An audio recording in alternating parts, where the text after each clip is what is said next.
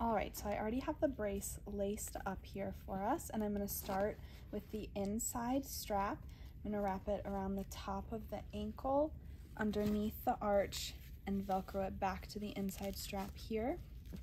Then I'm going to take the outside strap, wrap it around the top of the ankle, underneath the arch, and strap it to the outside Velcro here. Then once you have that, you can Velcro these top straps around the laces and just make sure everything fits comfortably for you.